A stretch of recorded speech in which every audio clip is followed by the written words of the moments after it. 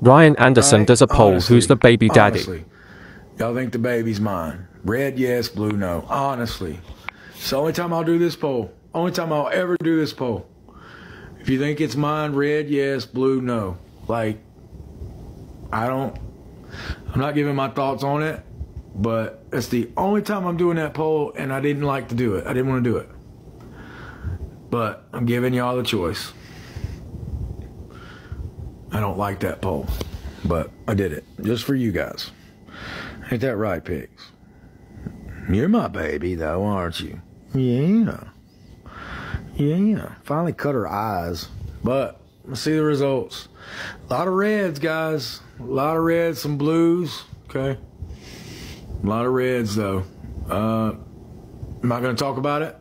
Not going to give my thought process on that.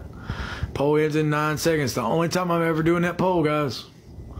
So you better vote. All right, a lot of reds. I don't know. I mean, my money's. If I was voting, I'd have voted probably blue.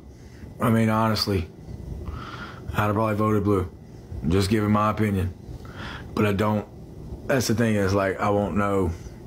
I won't know, and that's all I'm going to talk about it. That's it.